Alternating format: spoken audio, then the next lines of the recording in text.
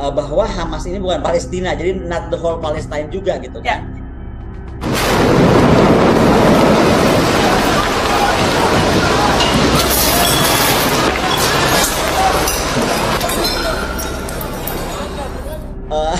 Sekarang mau ngomong gini, ada yang misalnya kasih tahu saya, atas nama kemanusiaan bukannya kita umat Islam tuh kalau teman kita Islam terpotong kakinya maka kita harus potong kaki orang itu. Kira-kira ada yang begitu bilang sama saya kan? Hmm. saya kan kalau paham agama. Tapi kalau saya ngeliatnya gini daripada lu ngurusin kesalahan jauh-jauh lu urusin dulu rampang deh. Lu urusin dulu tuh yang dekat-dekat kita. Mau nggak saudara Islam kita kenapa? Tolongin dulu mereka. Ngapain nolongin dulu yang jauh-jauh itu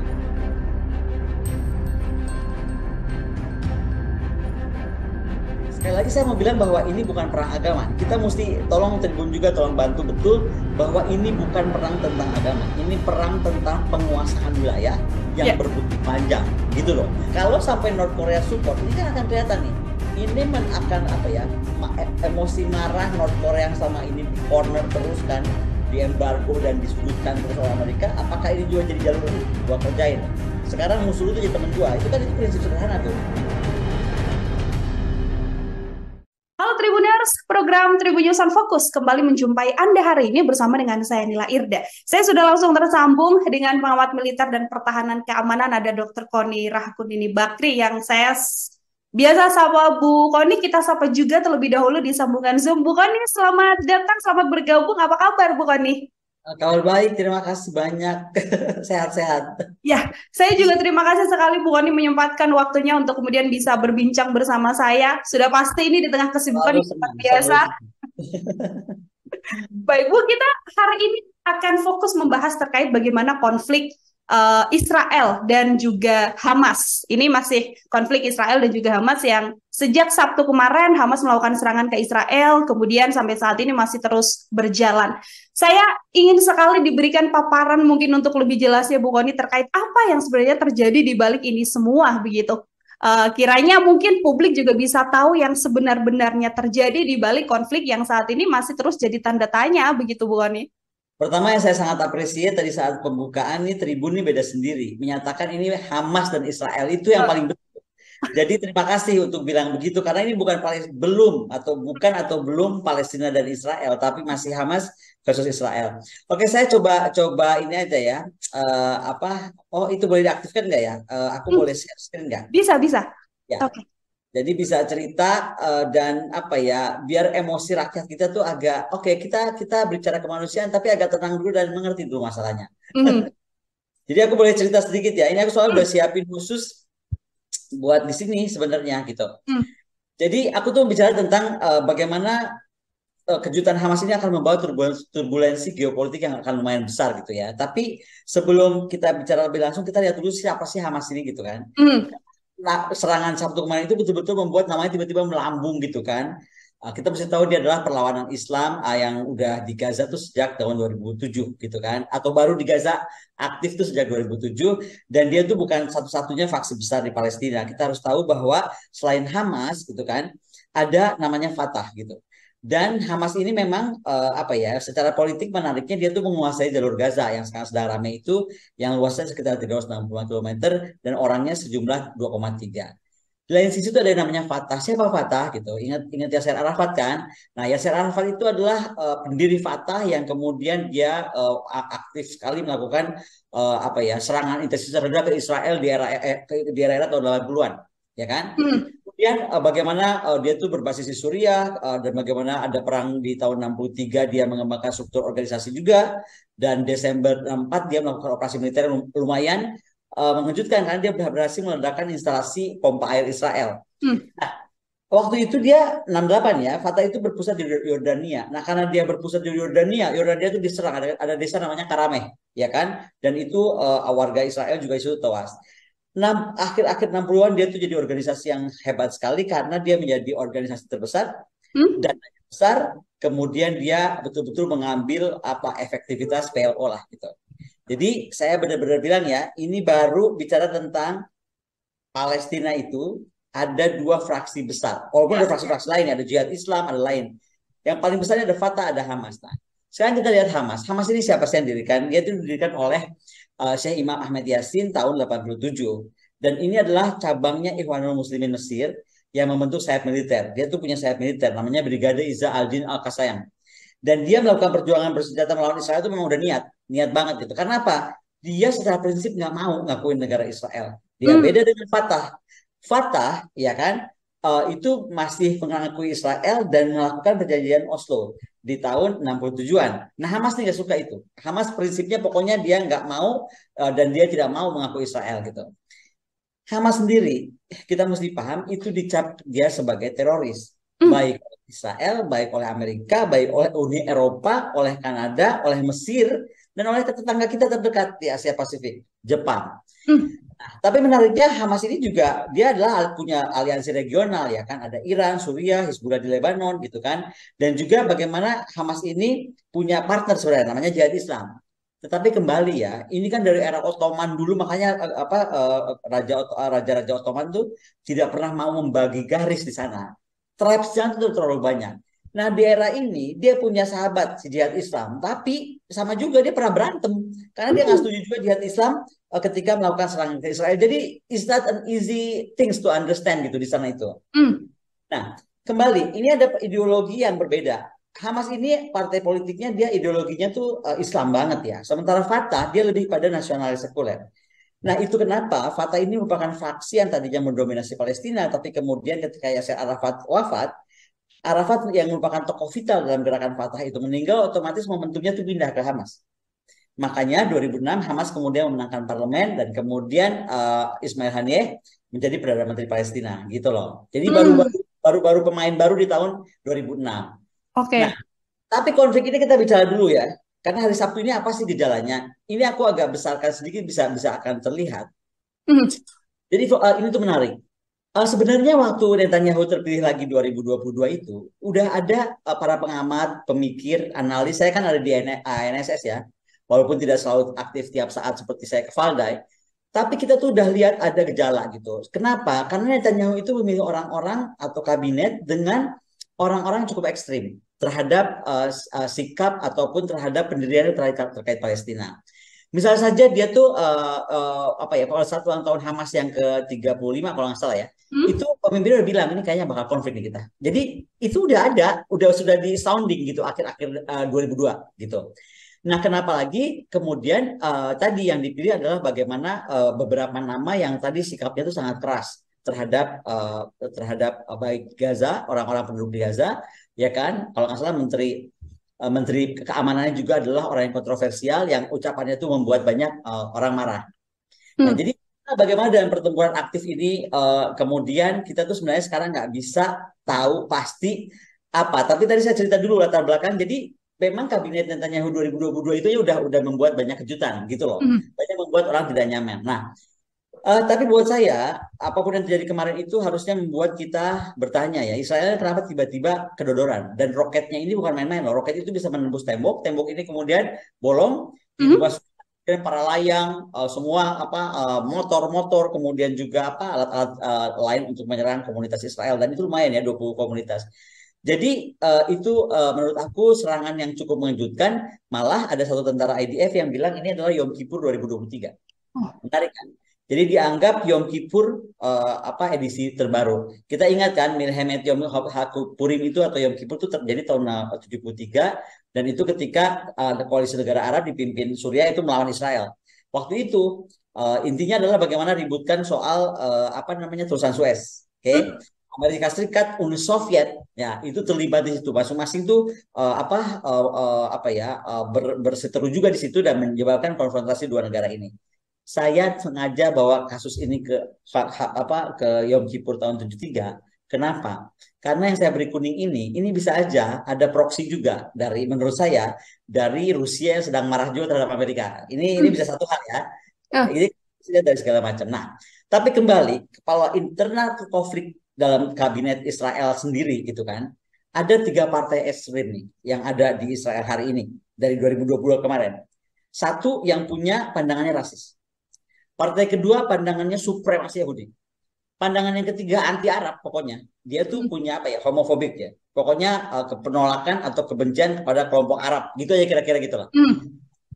si Smotrich ini uh, uh, Smotrich salah satu menteri ini menegaskan malah dia ngomong begini nggak ada tuh namanya orang Palestina Gitu ya. Nggak ada namanya, nggak kenal dia apa namanya rakyat Palestina. Nah, kata-kata kayak gini ini nih yang bikin akhirnya kabinet ini bergejolak gitu. Jadi kita mesti ngerti dulu ada apa di Israelnya ya. Nah, Kemudian kita melihat dari apa sekarang? Uh, kenapa teknologi Israel seolah-olah kalah gitu kan? Karena Israel ini kan sebenarnya kan sistem pertahanan udaranya keren banget, ya kan? Iron Dome-nya, David Sling-nya, Aerosystem-nya. Kemudian perbatasan itu dilengkapi dengan uh, aerostat yang nggak main-main. Observasinya, deteksi sistemnya, AI-nya, robot berawak, tak berawak, semua tuh oke okay banget di perbatasan. Oke? Okay? Tapi kenapa sebagian sistem tersebut tiba-tiba nggak berfungsi? Mm bisa ditembus gitu, ya kan? Di tingkat taktis, menurut saya Hamas itu berhasil membuka sistem pemantauan pada tahap awal. Padahal ini kan yang paling penting. Garis terdepan perbatasan itu adalah paling penting. Jadi pertanyaan ini sekarang gagal manusianya atau gagal sistemnya atau gagal intelijennya gitu kan?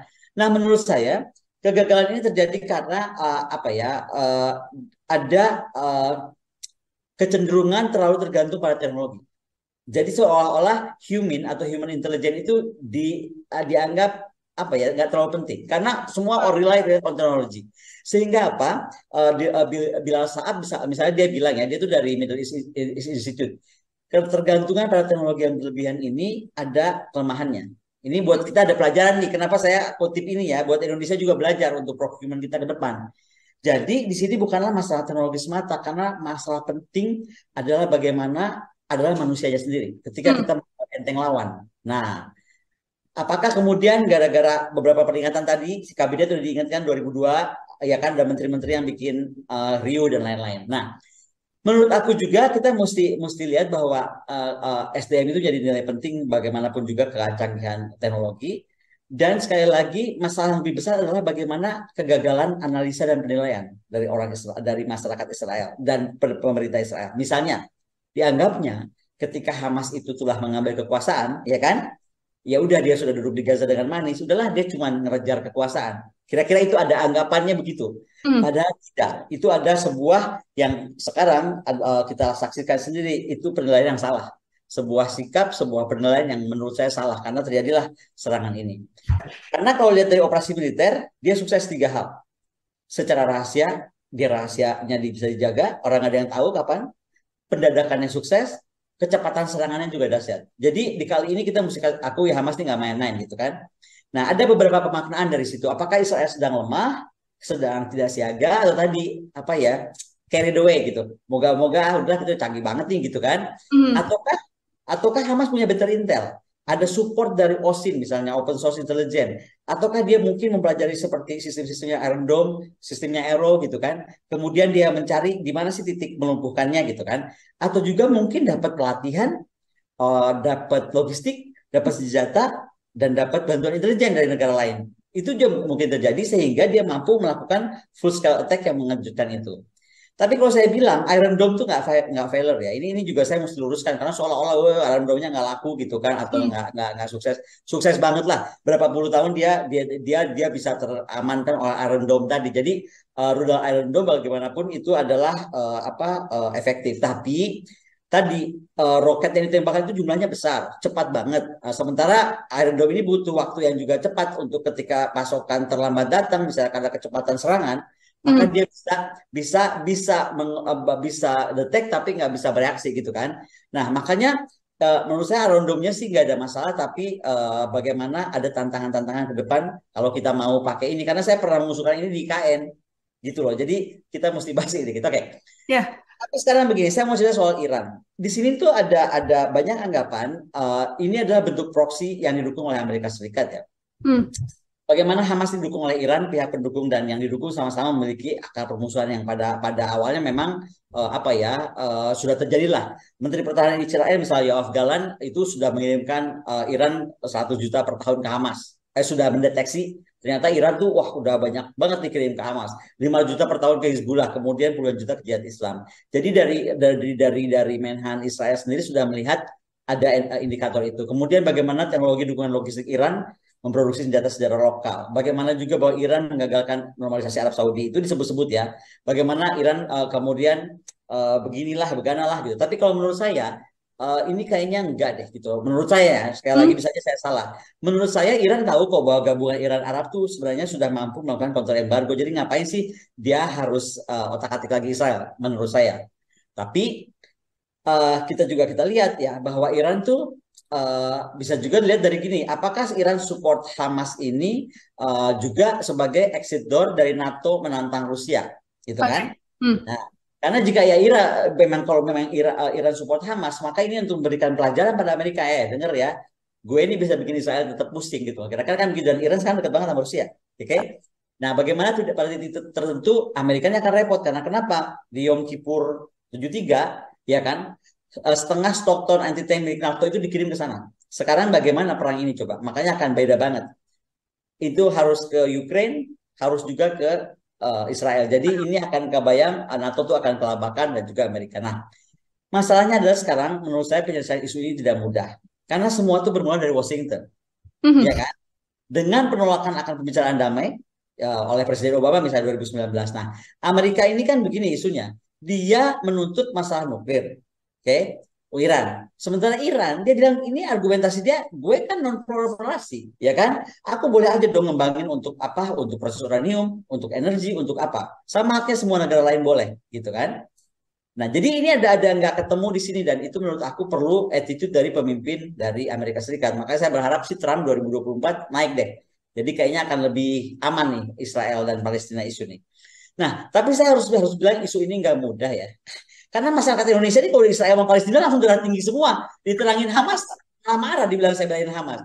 Saya cuma bilang, dari seribu tahun sebelum Masehi, ini tuh daerah yang didominasi oleh Yahudi, udah.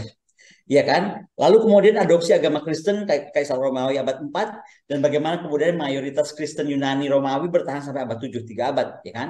Hmm. Lalu bagaimana kemudian periode tentara salib itu uh, 1019 sampai 1291 itu coba berapa abad? Hampir dua abad kan? Dan itu adalah pring pecahnya ya Kristen dan Islam. Nah, sejak abad 13, bagian besar muslim itu adalah bagian dari Kesultanan Mamluk. Tapi sebagai uh, 15-16 ya kan, itu merupakan bagian dari Ottoman. Ini yang tadi saya ingatkan, uh, Sultan-Sultan Ottoman, Sultanan-Sultan Ottoman itu nggak pernah mau membagi di sana karena masalah tribes yang sangat kusut, gitu kan? Jadi nggak ada tuh di garis tarik-tarik sama Ottoman, nggak pernah yang tiba-tiba ngaco ini adalah Inggris ketika Inggris masuk di 1917 1818 dengan Perancis. Ngek dua dua letkol atau kolonel itu si Skype itu dan Pico itu kan ngobrol tadi garis deh sana Palestina sini Israel kan gitu kira-kira kan? Mm. nah di situlah masalahnya. Makanya menurut saya kalau ngeributin du, ya, Palestina sama Israel jangan dulu ributin agama. Jauh banget kalau agama mah. Ributin dulu nih siapa sumbernya. Menurut aku ya 1917 1918 suruh tuh si Prancis sama Inggris duduk. Kalau Indonesia mau jadi juru damai. Jadi jangan ngomong sama Israel jangan ngomong sama Palestina jangan ngomong sama Hamas jangan ngomong sama Netanyahu. Kalau aku nih ngomong sama sama Prancis ini nggak akan pernah selesai because you are the one who make the, the line gitu loh. Iya kan? Nah lagi juga ada masalah si nasionalis Arab ini merasa apa pun yang bekas Ottoman berarti gue gitu. Itu juga ada isu itu tuh di abad-abad apa 1917 itu Nah, kita juga lihat ya, kita mesti lihat kan, ini kan nggak nggak beda jauh juga kita percaya kitab suci. Oke, okay? mereka juga berhak percaya kitab suci dia gitu loh. Nah, dari faktor kitab suci, dia tuh dari Talmud, yaitu kitab para nabi itu, itu sudah dinyatakan dengan tegas bahwa Yerusalem merupakan milik Israel sejak lebih 3000 tahun. Ini tertulis di Talmud nih. Jadi kalau hmm. kita bicara archive, this is their archive gitu. Nah, Yerusalem itu adalah pusat pemerintahan Israel di bawah kepemimpinan Daud dan jadi tertulis dalam kitab Raja-Raja itu ada ayatnya ya, saya nggak usah bacain. Tapi bagaimana kemudian Daud itu memerintah 40 tahun, kemudian dari Daud turun ke anaknya Sulaiman 40 tahun, dan dari situ ke cucunya. Si siapa namanya? Namanya susah banget Abraham, Rahabaim, ya kan? Itu 17 tahun. Ya di total aja itu baru mereka gitu. Jadi menurut aku jangan ngeributin sekarang darah berdarah di Palestina, darah berdarah di Gaza, darah berdarah di Israel. No, ini udah darah berdarah lebih berdarah darah berdarah lagi gitu. Nah, kedua, ada pandangan yang saya terima dari Ustadz Arifin Yahya ya di 2021. Jadi menurut saya ini Ustadz ini menarik nih. Saya belum kenal orangnya tapi dia pernah kirim kirim WA. Menurut dia selama periode kepemimpinan Nabi Muhammad, hidup dia Nabi Muhammad itu nggak pernah ganggu Yerusalem, nggak pernah. Di Al-Quran pun nggak ada surat yang memerintahkan kita harus ambil alih Yerusalem. Menurut beliau, saya bukan ahli Quran.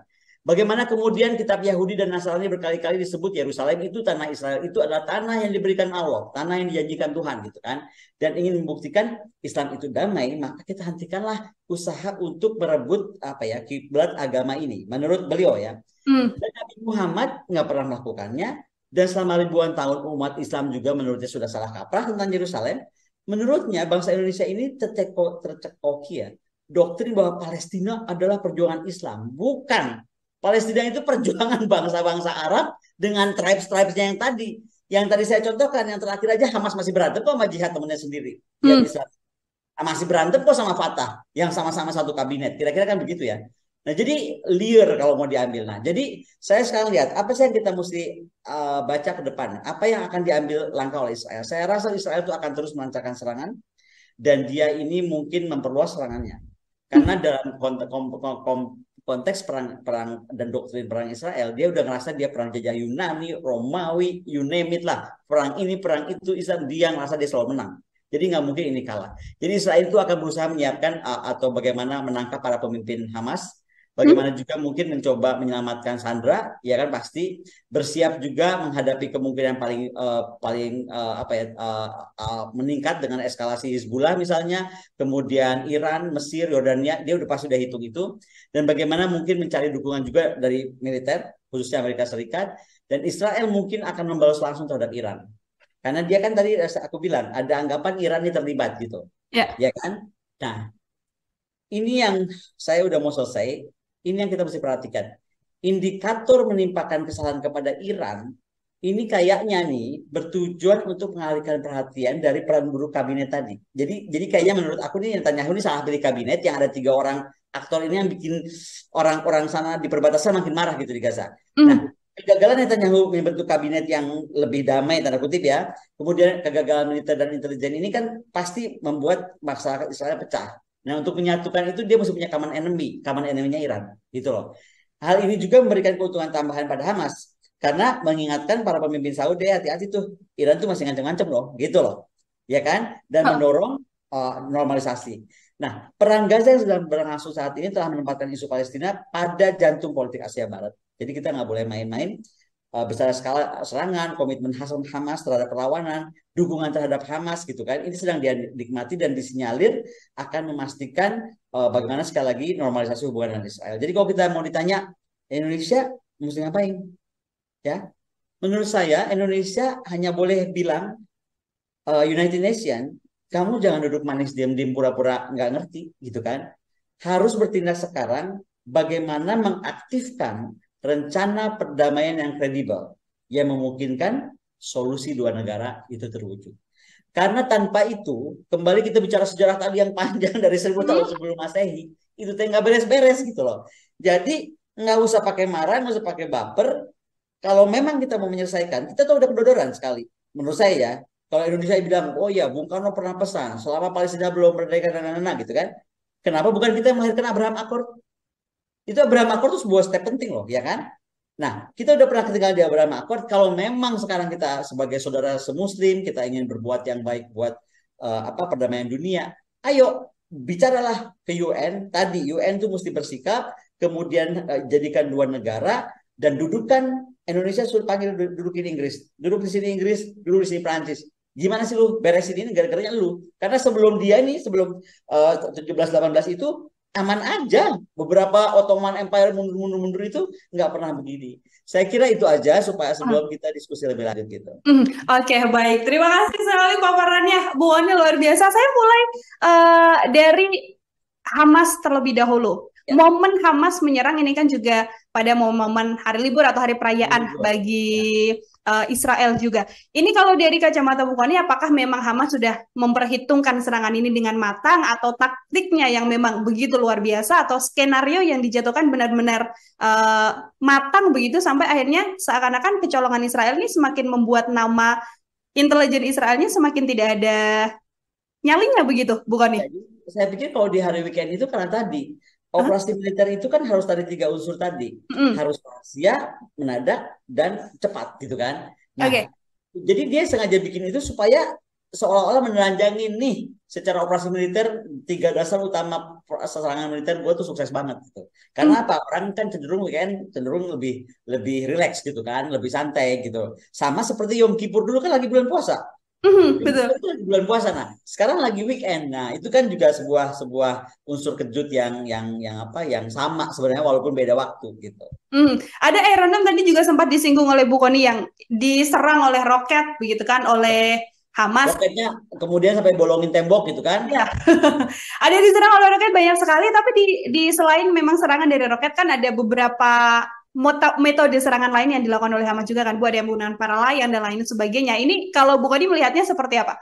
Ya makanya jadi ini tuh serangannya tuh uh, apa ya tersusun banget. Dulu dulu kan itu sering waktu saya tinggal waktu saya sedang di sana pun juga roket tuh sering datang gitu kan. Tapi ya roket aja gitu kita cuma bisa lihat dan nala nggak penting. Nah sekarang nggak tiba-tiba roketnya tuh beruntun besar uh, apa dampaknya membobol tembok lalu kemudian disusul masuk para layang dan juga uh, bulldozer ya kan belum lagi motor-motor dan lain-lain ke sebagainya gitu jadi uh, diterobos lah gitu loh. Yang yeah. dulu nggak kepikiran kan menerobos menerobos benteng dengan roket lah kira-kira itu. Uh. Unsur yang bikin juga kaget tuh itu sebenarnya juga. Uh. Kan roketnya tuh kalau nggak salah sejam pertama tiga ribuan tuh. Bayangin Betul. satu jam tiga ribu roket. Uh, sudah dari uh, awal memang melakukan rencana untuk serangan ini berarti bukannya juga 100% meyakini ini adalah uh, ada unsur kecolongan intelijen Israel. Tadi bukan kecolongan ya. Uh? Tadi uh, pandangan bahwa apakah karena Israel terlalu pede dengan aspek teknologinya yang ya, betul. maka kemudian human human intelligence itu di uh, di apa ya di kebawahkan atau tidak terlalu dianggap penting. Padahal gini ya, tadi kan sudah lihat bahwa di ulang tahun ke-35 aja Hamas itu sebenarnya sudah dinyatakan oleh pemimpin Hamas kita akan bikin konferensi terbuka. Itu tuh ya. Desember. Desember 2022 berarti berapa bulan lalu. Nah, uh. Mei 2023 ya kan ada konflik pasukan kecil lah jihad Islam. Waktu itu jihad Islam bukan Hamas di Gaza. Nah si Aaron David Miller tuh ada ada seorang uh, apa sih uh, reporter terkenal di sana. Dia bilang bahwa campuran yang tidak men, men, yang tidak menentu. Ada menteri fundamentalis kemudian ada pemukim ekstremis di tepi barat uh, dan Yerusalem Timur kemudian Hamas yang ingin melanjutkan perjuangan bersenjata. Dia nggak cuma duduk-duduk manis di kekuasaan. Lalu bagaimana uh, tepi barat kota-kota Arab uh, Yahudi Israel dan bahkan Lebanon Selatan uh, juga sudah berhasil dia konsolidasikan. Maka uh, menurut dia Netanyahu itu sudah dalam posisi ber, berbahaya karena kemudian itu kan kondisi keadaan ya masyarakat. Kemudian Itamar Ben Benvir dia diangkat Menteri Keamanan Nasional. Kemudian Bezalel Stomrich yang tadi saya bilang Menteri Keuangan, mm-hmm. dia bertanggung jawab untuk pembangunan pemukiman tepi barat. Apa yang terjadi kemudian? Kendalinya itu itu dibuat dia membuat kayak garda sendiri. Dan itu membuat masyarakat di sana kan terganggu. Jadi si, menurut aku bukan Netanyahu-nya tapi si Stormrich ini, si menteri menteri keuangan ini, karena dia punya kendali langsung ke perbatasan. Ah. Gitu. Uh -huh. nah, jadi jadi menurut aku uh, bukan ini ya kita kita mesti tepatkan apakah ini kabinetnya benar ya uh. kan atau kabinetnya represif. Nah, kira-kira gitu deh. Jadi uh. bukan antara rakyat Israel terhadap penduduk uh, apa di di Gaza yang mostly dibela Hamas itu sekarang ya kan? Tetapi memang ada unsur-unsur uh, bagaimana tadi uh, si dua menteri ini menurut uh, apa uh, menurut bacaan intelijen ini nih menteri ini ekstrim nih. Kira-kira ini dia akan membuat keriuhan dan benar aja kan gitu loh. Karena si Stormry tadi dia melakukan uh, uh, melakukan perluasan di pemukiman di tepi barat uh. dan dia itu memperketat kendali dengan lima lima ratus ribu uh, sampai satu juta kalau nggak salah ya uh, pemukim eh sorry dari 500 ribu uh, pemukim itu bukan jadi satu juta jadi makin apa ya makin peak makin padat densitinya. Hmm oke oke oke. Bukan ini serangan balasan kan sampai sekarang masih terus dilakukan oleh Israel begitu kan? Ini kalau melihat Hamas sendiri Kira-kira apakah kemudian ini akan berkepanjangan saling serang begitu atau kalau dari kacamata Bukoni akan sejauh apa perang ini? Sampaikah akan di uh, pernyataan bisa seluas Rusia dan juga Ukraina? Ya itu tadi saya bilang ini momennya uh, uh, buat Hamas bikin begini ini agak agak agak uh, uh, agak sesuatu. Karena dia hmm. mungkin sudah ukur wah ini nih Ukraina lagi banyak mengambil nafasnya NATO. Nafas yeah. persenjataan ya kan? Procurement-nya lagi semua di, ke, lagi di, diserap ke Ukraina atau tuh sudah terserap ke Ukraina gitu kan? Amerika juga udah mulai capek ngurusin Ukraina. Nah ingat nggak waktu dulu awal perang Ukraina Rusia saya bilang kan ini perang Eropa selalu panjang, dia akan cari exit door, gitu kan? Pasti cari exit door karena nggak mungkin mau lama-lama di sana. Nah, apakah itu kan ini semacam exit door bisa juga gitu, iya kan? Karena di swing aja langsung lagi ke Timur Tengah, iya toh daripada di Eropa atau daripada di kawasan kita. Saya rasa setelah kejadian bagaimana Rusia itu demikian uh, apa ya mandiri, berdikari, uh, apa sih uh, kemudian ketahanannya kuat sekali, mau ekonominya, mau politiknya, mau energinya dan lain-lain, saya rasa Amerika berpikir dua kali kalau mau bikin gara-garanya di Laut Cina Selatan atau hmm. di Taiwan. Karena menurut dia Rusia aja begini, bagaimana Cina gitu. Ini menurut aku. Makanya tadi saya saya angkat, saya tarik ke Yom Kippur 73. Ya, betul. Dulu ada ada emosi Amerika Soviet juga. Nah, apakah ini ke sana bisa juga? Ada kemungkinan untuk kemudian bisa ke sana juga ya, uh, Bu Ani ya. Jika nah, melihat konflik ini. perang proksi seperti ini bisa siapa dia belakang siapa? Coba kita lihat reaksi Presiden Putin.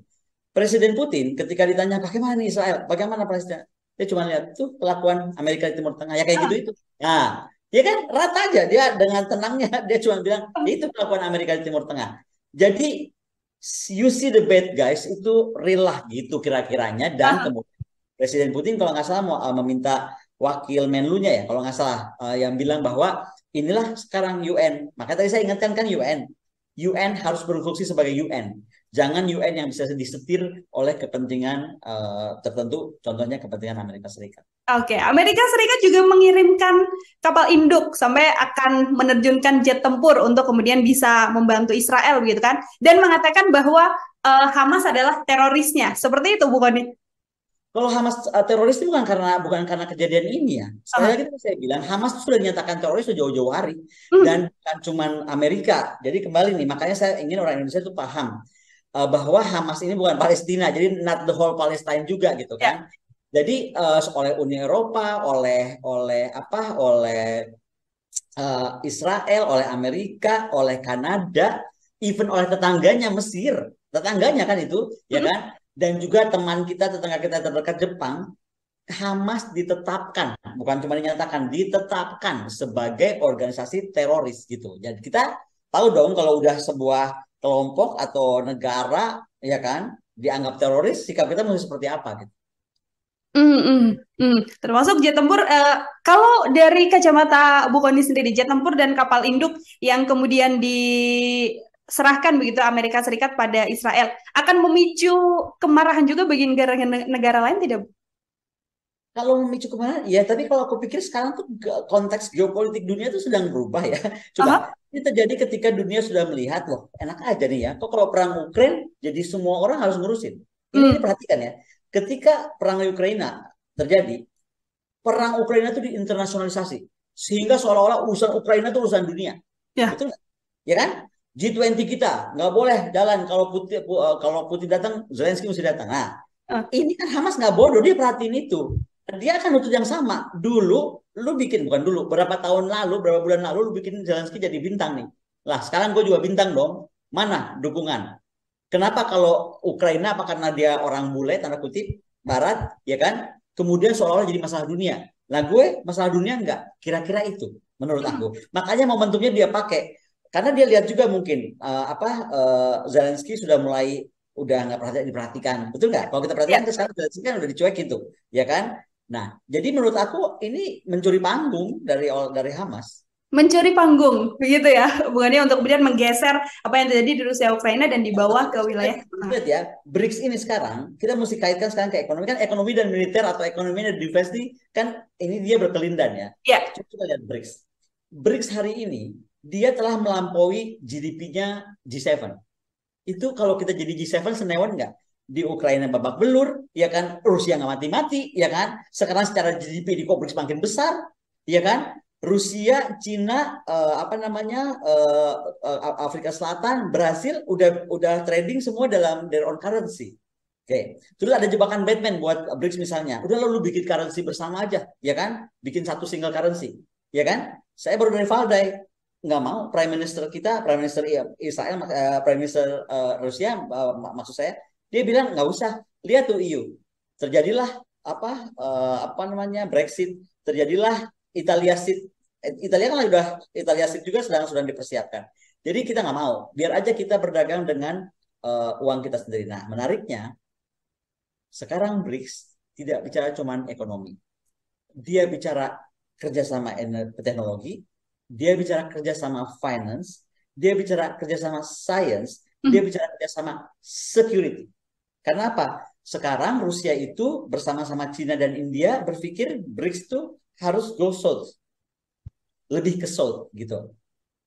Jadi nanti uh, pipeline ini kalau nggak salah sudah jadi nih ke Cina kan, nanti terus akan nyambung-nyambung terus ke mana gitu. Nah, di sinilah kenapa menurut aku tidak mungkin kalau sampai pipeline dibangun ke Indonesia ke arah uh, selatan, ke arah kita nih, ya kan? Makanya Indonesia kalau nggak ikut BRICS rugi banget menurut aku. Uh-huh.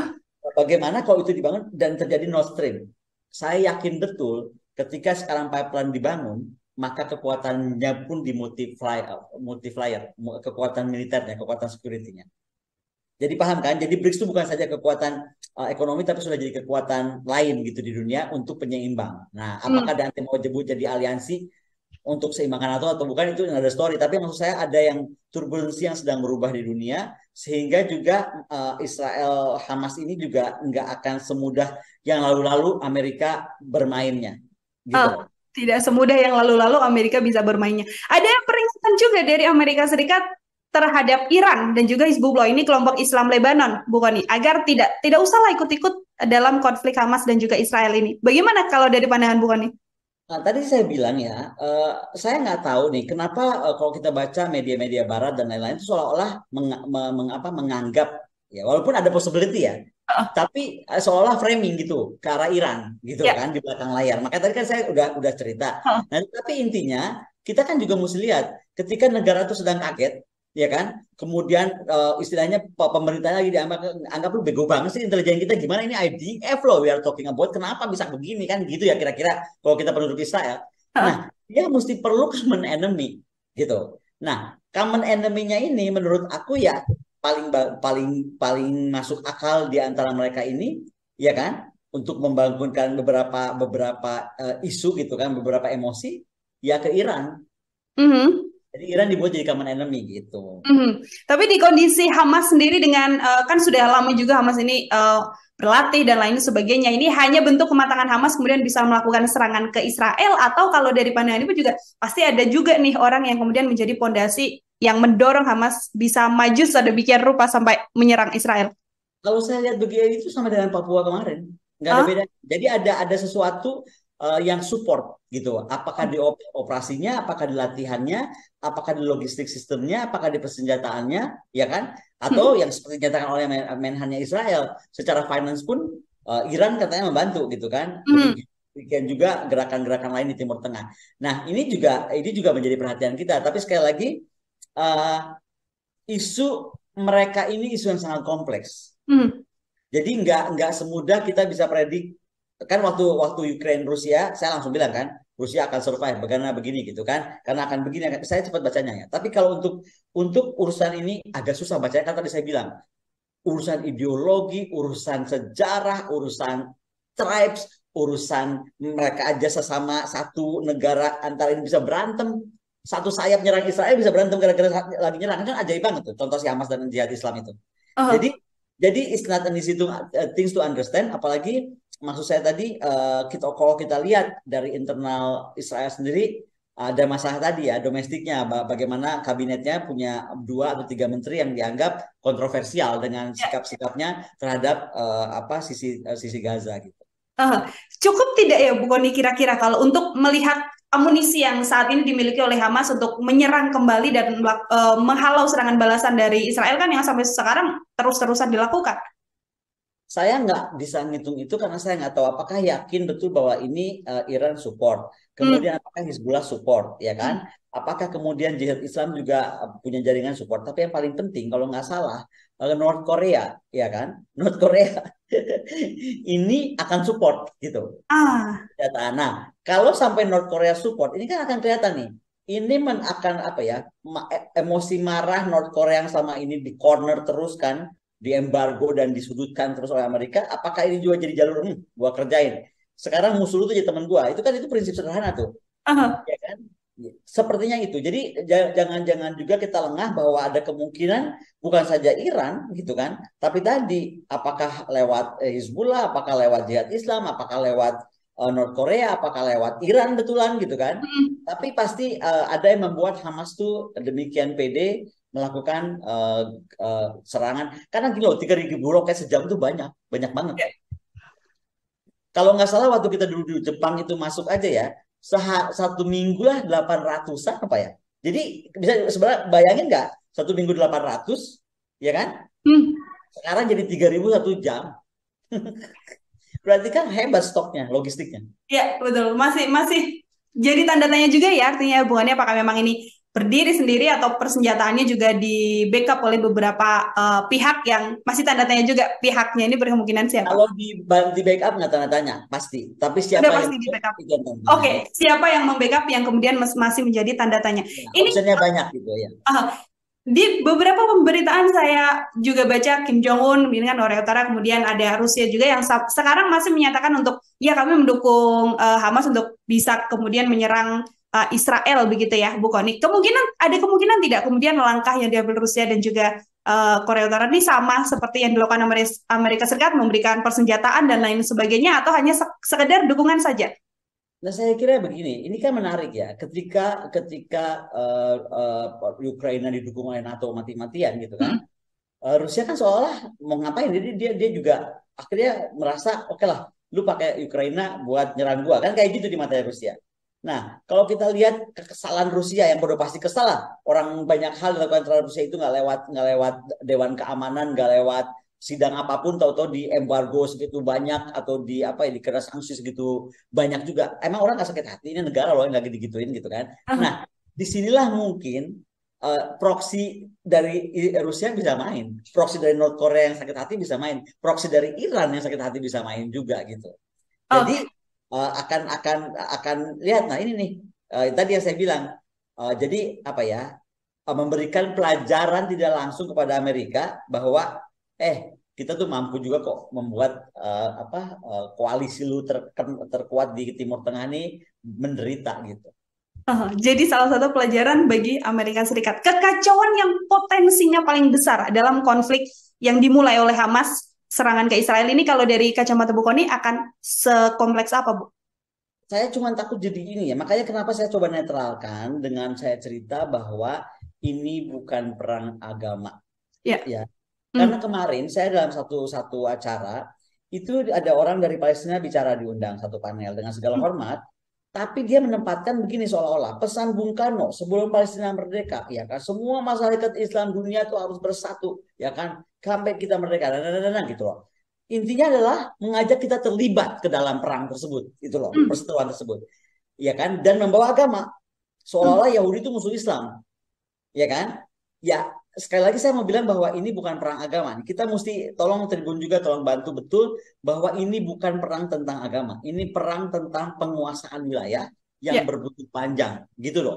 Dan perang antara tribes. Di sana tuh tribesnya beda banget sama kita kan punya banyak suku ya. Hmm. Tapi nggak nggak nggak nggak nggak saling berantem hebat dan saling ber, apa ya, berpecahan terus seperti mereka gitu. Karena itu nanti bisa ditariknya ke mana? Ke Sunni, Islam sama-sama Islam. Tapi Sunninya, Syiahnya gitu. Saya bisa cerita satu SKS tuh karena itu ada satu buku namanya Jerusalem yang oh. tebelnya segini. Itu cerita semua bagaimana tribe di sana pun juga nggak gampang disatukan. Makanya kalau nyeritain itu pendeknya ya lihat aja Hamas sama-sama bersebelahan dengan jihad Islam, ya kan? Kalau di satu negara nih ya, ada hmm. Ada Fatah, ada jihad Islam misalnya kalau sama-sama ya udah lu sama-sama aja gebur Israel. Ya kan? Enggak. Di antara mereka juga berantem. Contoh, dia nggak nggak setuju tuh si Fatah uh, apa Yasser Arafat tanda tangan uh, waktu di Oslo. Buat dia tidak ada negara Israel. Dia mau mundur ke 67. Gitu loh. Kan berarti nggak satu suara. Dia nggak ya. punya ini gitu. Uh, artinya ke, ke, kekacauannya justru dilihat dari bagaimana orang-orang membawa ini ke isu agama ya, bukan Iya, akan kacau akan di situ dan akan akan jadi nggak akan pernah selesai juga karena kembali di dalam sana tuh ada juga isu bukan cuma Islam loh. Islam di sana kan kepecah juga Sunni Syiah, ya hmm. ya kan? Nah itu jadi uh, kita sekarang mau ngomong gini, ada yang misalnya kasih tahu saya, atas nama kemanusiaan bukannya kita umat Islam tuh kalau teman kita Islam terpotong kakinya maka kita harus potong kaki orang gitu. Kira-kira ada yang begitu bilang sama saya kan? Hmm. saya kan gak paham agama. Tapi kalau saya ngeliatnya gini daripada lu ngurusin ke sana jauh-jauh lu urusin dulu rampang deh. Lu urusin dulu tuh yang dekat-dekat kita. Mau nggak sudah Islam kita kenapa tolongin dulu mereka. Ngapain tolongin dulu yang jauh-jauh itu? Hmm. karena tugas Indonesia hanya bisa secara diplomatik Kemarin ya. Pak Imron Kotan ambasador tuh ngomong gini, siapa kita sih gitu kan mampu mengendamaikan mereka? Oh kita aja sih pada ligitan. Ini mau ngambil balik tanah Palestina. Cerita kan begitu. Yang direbut Israel katanya. Ya udah jangan dulu rebut balik tanah Palestina. Lu rebut aja sih pada ligitan. Mampu nggak?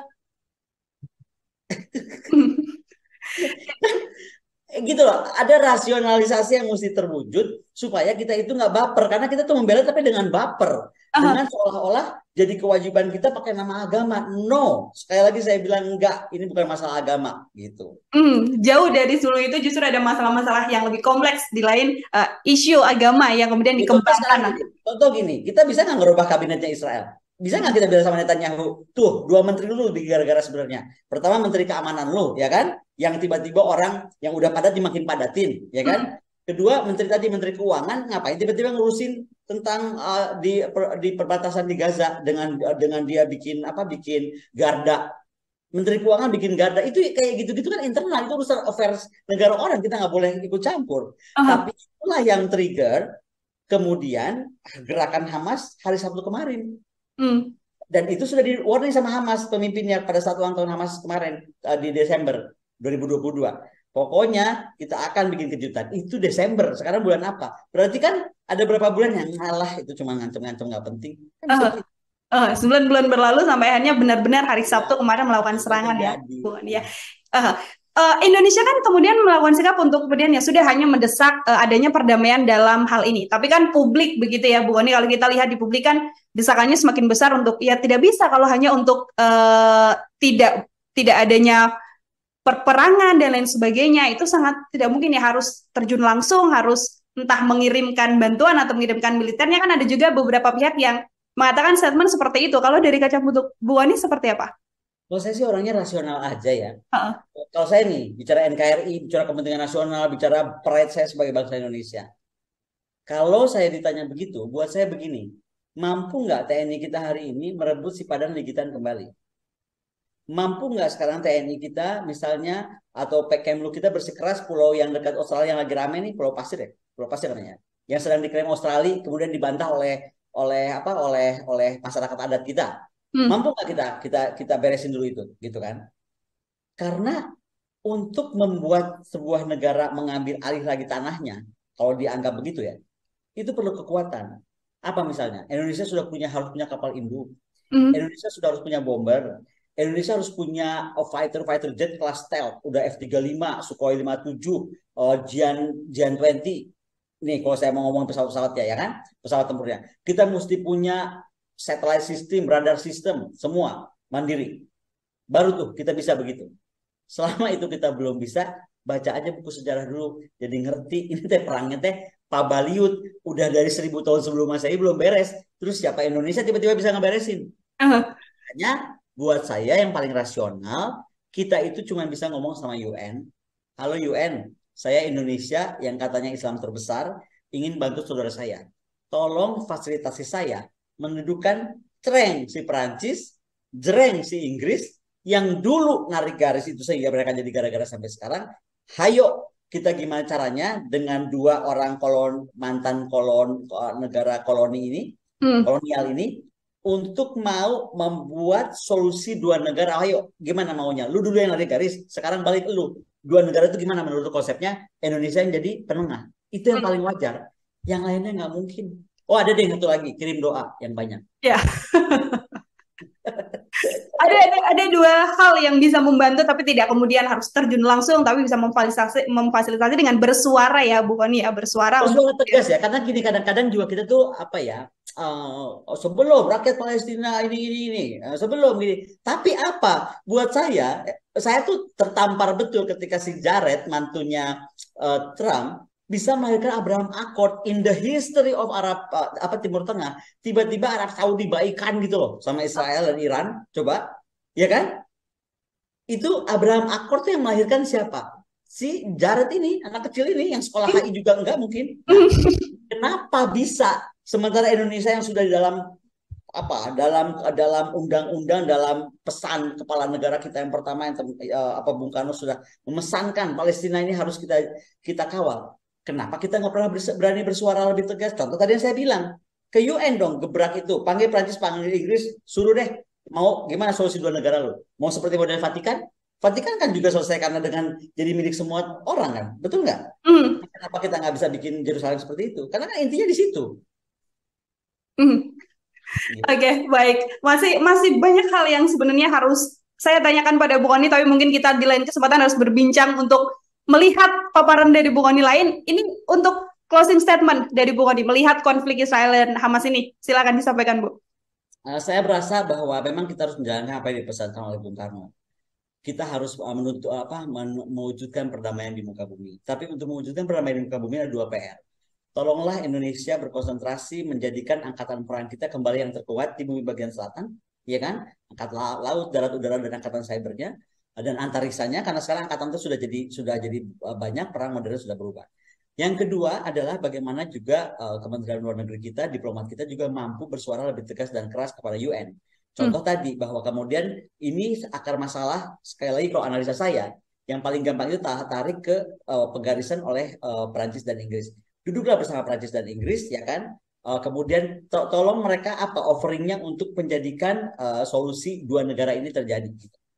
Bagaimana? Karena dulu mereka yang mulai, mereka yang mesti mengakhiri, kita di tengah-tengah yang uh, yang apa mendukung. Saya sebelum menutup mau bilang aja ya, statement Pak Menhan uh, apa Pak Prabowo waktu di Shangri-La Dialogue itu tuh sudah mengejutkan semua orang. Terus terang aja sampai masuk ke dalam rekor beberapa negara gitu. Kenapa? Karena secara teknis langsung diomong, mesti begini gitu. Saya waktu itu beliau uh, uh, menurut saya terlalu early juga ngomong karena masih Menhan belum jadi presiden kan. Hmm. ya agak di sana awal langsung bilang aduh siapa sih? Tapi idenya benar tes. Jadi secara teknis nih Indonesia mau buat apa sih offering jelasnya? Nah, ya. sama belajar dari situ, saya lihat ya udah untuk kasus untuk kasus uh, Palestina Israel kalau kita betul-betul ingin mewujudkan perdamaian mereka, bersuara dong di UN gitu. Bahwa UN itu harus fair melihat masalah ini jangan cuma dukung Amerika aja, apa pun yang Amerika mau diiyain gitu kan. Yang kedua, dudukan yang dua orang paling bikin gara-gara itu yaitu Prancis dan Inggris ini gitu. Hmm, baik, terima kasih sekali lagi Bu Kani untuk penjelasannya luar biasa sekali uh, untuk kemudian bisa menjadi gambaran pada publik pada Tribuners juga apa yang sebenarnya terjadi tidak hanya dilihat dari isu agama untuk kemudian didukung dan lain sebagainya seperti itu ya bukan ya ya semoga di lain kesempatan kemudian kita bisa berbincang lagi bukan nih uh, dan demikian Tribuners program Tribunusan Fokus hari ini saya Nila Irda dan bukan juga pamit undur diri terima kasih dan sampai jumpa lagi di pertemuan selanjutnya download Tribun X sekarang menghadirkan lokal menjadi Indonesia. Makanya saya ingin orang Indonesia itu paham uh, bahwa Hamas ini bukan Palestina, jadi not the whole Palestine juga gitu kan. Ya.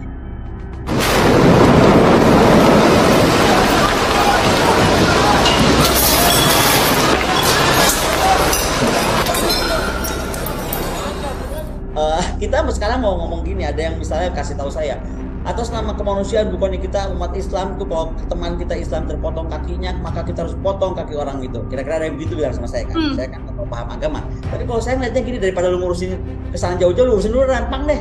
Lu urusin dulu tuh yang dekat-dekat kita. Mau nggak saudara Islam kita kenapa? Tolongin dulu mereka. Ngapain nolongin dulu yang jauh-jauh itu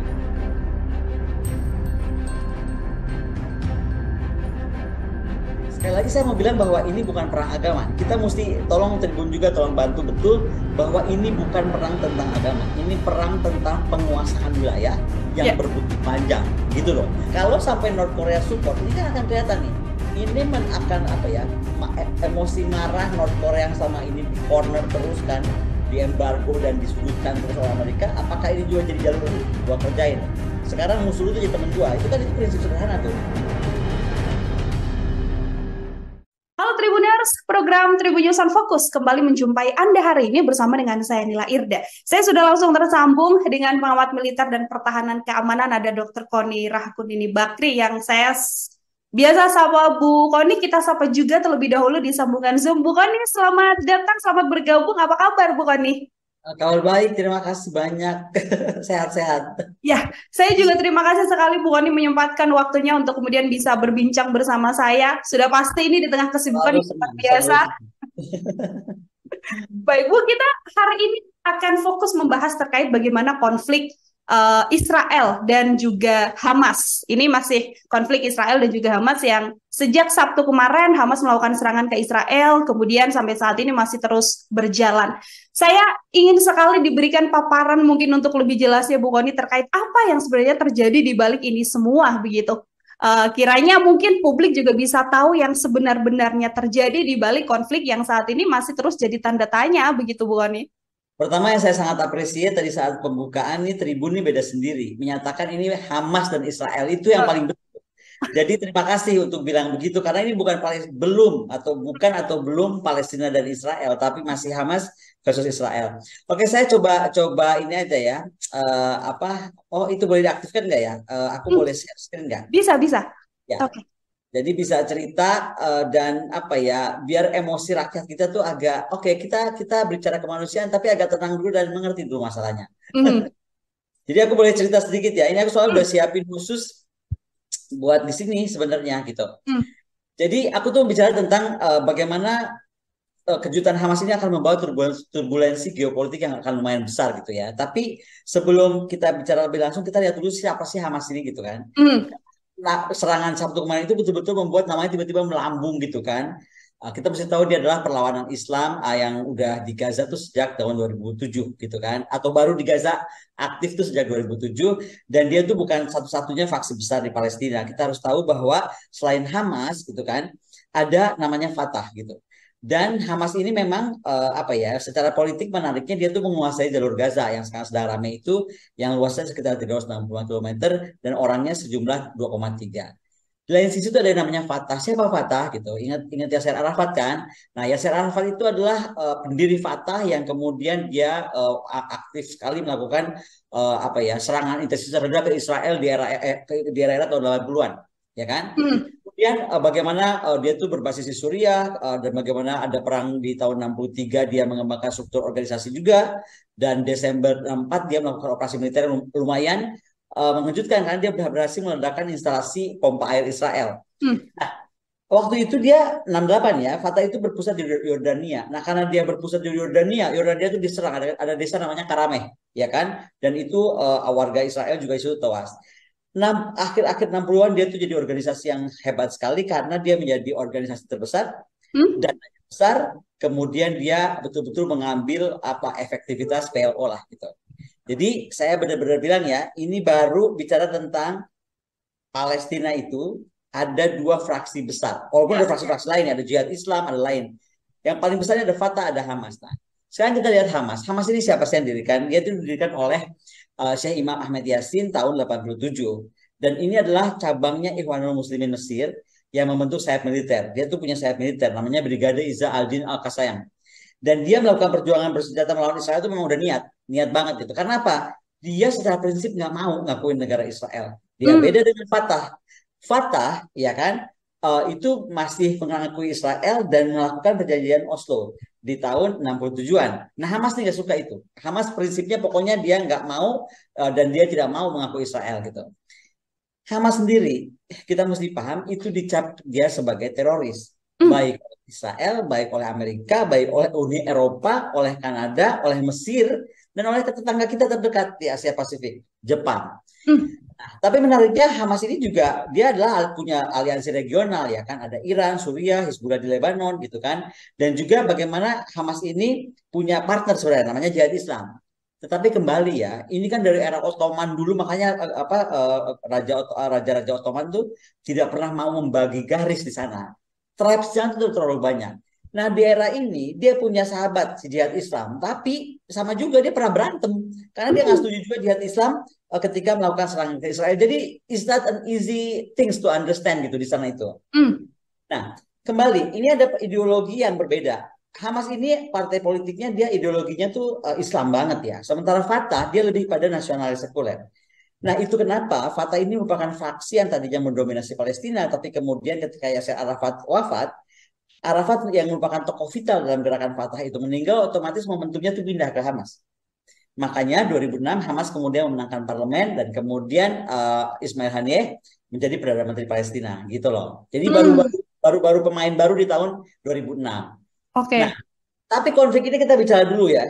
Karena hari Sabtu ini apa sih gejalanya? Ini aku agak besarkan sedikit bisa bisa akan terlihat. Mm. Jadi uh, ini tuh menarik. Uh, sebenarnya waktu Netanyahu terpilih lagi 2022 itu udah ada uh, para pengamat, pemikir, analis. Saya kan ada di ANSS ya, walaupun tidak selalu aktif tiap saat seperti saya ke Valdai. Tapi kita tuh udah lihat ada gejala gitu. Kenapa? Karena Netanyahu itu memilih orang-orang atau kabinet dengan orang-orang cukup ekstrim terhadap uh, uh, sikap ataupun terhadap pendirian terkait, terkait Palestina. Misal saja dia tuh uh, uh, apa ya pada saat ulang tahun Hamas yang ke-35 kalau nggak salah ya. Hmm? Itu pemimpin udah bilang ini kayaknya bakal konflik nih kita. Jadi itu udah ada, udah sudah di sounding gitu akhir-akhir uh, 2002 gitu. Nah, kenapa lagi kemudian uh, tadi yang dipilih adalah bagaimana uh, beberapa nama yang tadi sikapnya itu sangat keras terhadap uh, terhadap uh, baik Gaza, orang-orang penduduk di Gaza, ya kan? Kalau nggak salah menteri Eh, menteri keamanannya juga adalah orang yang kontroversial yang ucapannya itu membuat banyak uh, orang marah. Nah, hmm. Nah, jadi bagaimana dengan pertempuran aktif ini uh, kemudian kita tuh sebenarnya sekarang nggak bisa tahu pasti apa. Tapi tadi saya cerita dulu latar belakang. Jadi memang kabinet Netanyahu 2022 itu ya udah udah membuat banyak kejutan gitu loh. Hmm. Banyak membuat orang tidak nyaman. Nah, Uh, tapi buat saya, apa pun yang terjadi kemarin itu harusnya membuat kita bertanya ya, Israel kenapa tiba-tiba kedodoran? Dan roketnya ini bukan main-main loh. Roket itu bisa menembus tembok, tembok ini kemudian bolong, mm -hmm. para layang, uh, semua apa eh, motor-motor, uh, kemudian juga apa alat-alat uh, lain untuk menyerang komunitas Israel. Dan itu lumayan ya 20 komunitas. Jadi uh, itu uh, menurut aku serangan yang cukup mengejutkan. Malah ada satu tentara IDF yang bilang ini adalah Yom Kippur 2023. Oh. Menarik kan? Jadi dianggap Yom Kippur uh, apa edisi terbaru. Kita ingat kan Milhemet Yom Purim itu atau Yom Kippur itu terjadi tahun 73 dan itu ketika uh, koalisi negara Arab dipimpin Suriah itu melawan Israel. Waktu itu uh, intinya adalah bagaimana ributkan soal uh, apa namanya terusan Suez. Oke. Okay? Amerika Serikat, Uni Soviet, ya itu terlibat di situ. Masing-masing itu uh, apa uh, uh, apa ya uh, ber, berseteru juga di situ dan menyebabkan konfrontasi dua negara ini saya sengaja bawa kasus ini ke apa ke Yom Kippur tahun 73. Kenapa? Karena yang saya beri kuning ini, ini bisa aja ada proksi juga dari menurut saya dari Rusia yang sedang marah juga terhadap Amerika. Ini hmm. ini bisa satu hal ya. Oh. Ini dari segala macam. Nah, tapi kembali kepala internal konflik dalam kabinet Israel sendiri gitu kan. Ada tiga partai ekstrim nih yang ada di Israel hari ini dari 2020 kemarin. Satu yang punya pandangannya rasis. Partai kedua pandangannya supremasi Yahudi. Pandangan yang ketiga anti Arab pokoknya. Dia tuh hmm. punya apa ya homofobik ya. Pokoknya uh, kepenolakan atau kebencian kepada kelompok Arab. Gitu ya kira-kira gitulah. Hmm. Si Smotrich ini, uh, uh, Smotrich salah satu menteri ini menegaskan malah dia ngomong begini, nggak ada tuh namanya orang Palestina, katanya. nggak ada namanya, nggak kenal dia apa namanya rakyat Palestina. Nah kata-kata kayak gini ini nih yang bikin akhirnya kabinet ini bergejolak gitu. Jadi kita mesti ngerti dulu ada apa di Israelnya ya. Nah, kemudian kita melihat dari apa sekarang? Uh, kenapa teknologi Israel seolah-olah kalah gitu kan? Karena Israel ini kan sebenarnya kan sistem pertahanan udaranya keren banget, ya kan? Iron Dome-nya, David Sling-nya, Aerosystem-nya, kemudian perbatasan itu dilengkapi dengan uh, aerostat yang nggak main-main, observasinya, deteksi sistemnya, AI-nya, robot berawak, tak berawak, semua tuh oke okay banget di perbatasan. Oke? Okay? Tapi kenapa sebagian sistem tersebut tiba-tiba nggak berfungsi? Mm bisa ditembus gitu, ya kan? Di tingkat taktis, menurut saya Hamas itu berhasil membuka sistem pemantauan pada tahap awal. Padahal ini kan yang paling penting. Garis terdepan perbatasan itu adalah paling penting. Jadi pertanyaan ini sekarang gagal manusianya atau gagal sistemnya atau gagal intelijennya gitu kan? Nah menurut saya kegagalan ini terjadi karena uh, apa ya uh, ada uh, kecenderungan terlalu tergantung pada teknologi. Jadi seolah-olah human atau human intelligence itu di, dianggap apa ya nggak terlalu penting. Karena semua or rely on technology. Sehingga apa? Uh, di, uh, bila saat bisa misalnya dia bilang ya dia itu dari Middle East Institute. Ketergantungan pada teknologi yang berlebihan ini ada kelemahannya. Ini buat kita ada pelajaran nih kenapa saya kutip ini ya buat Indonesia juga belajar untuk procurement kita ke depan. Jadi di sini bukanlah masalah teknologi semata karena masalah penting adalah bagaimana adalah manusianya sendiri. Ketika hmm. kita enteng lawan. Nah apakah kemudian gara-gara beberapa peringatan tadi si kabinet sudah diingatkan 2002 ya kan ada menteri-menteri yang bikin uh, Rio dan lain-lain. Nah, menurut aku juga kita mesti mesti lihat bahwa uh, uh, SDM itu jadi nilai penting bagaimanapun juga kecanggihan teknologi dan sekali lagi masalah yang lebih besar adalah bagaimana kegagalan analisa dan penilaian dari orang Israel, dari masyarakat Israel dan pemerintah Israel. Misalnya dianggapnya ketika Hamas itu telah mengambil kekuasaan, ya kan? Ya udah dia sudah duduk di Gaza dengan manis, sudahlah dia cuma ngejar kekuasaan. Kira-kira itu ada anggapannya begitu. Hmm. Padahal tidak. Itu ada sebuah yang sekarang uh, kita saksikan sendiri itu penilaian yang salah.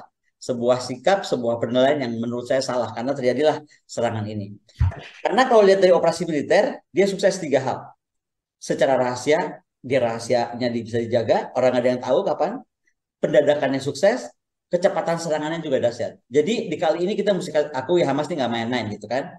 Nah ada beberapa pemaknaan dari situ. Apakah Israel sedang lemah, sedang tidak siaga, atau tadi apa ya carried away gitu. Moga-moga udah kita canggih banget nih gitu kan. Mm. Ataukah ataukah Hamas punya better intel? Ada support dari OSIN misalnya Open Source Intelligence ataukah dia mungkin mempelajari seperti sistem-sistemnya Iron Dome, sistemnya Arrow gitu kan. Kemudian dia mencari di mana sih titik melumpuhkannya gitu kan. Atau juga mungkin dapat pelatihan, uh, dapat logistik, dapat senjata dan dapat bantuan intelijen dari negara lain. Itu juga mungkin terjadi sehingga dia mampu melakukan full scale attack yang mengejutkan itu. Tapi kalau saya bilang Iron Dome tuh nggak nggak failure ya. Ini ini juga saya mesti luruskan karena seolah-olah Iron Dome-nya nggak laku gitu kan atau hmm. nggak nggak nggak sukses.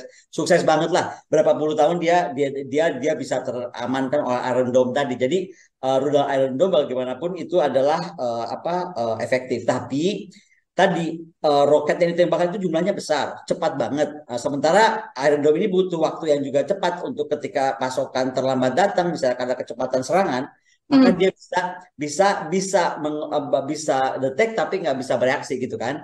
Nah makanya uh, menurut saya rondomnya sih nggak ada masalah tapi uh, bagaimana ada tantangan-tantangan ke depan kalau kita mau pakai ini. Karena saya pernah mengusulkan ini di KN gitu loh. Jadi kita mesti bahas ini. Gitu oke. Okay.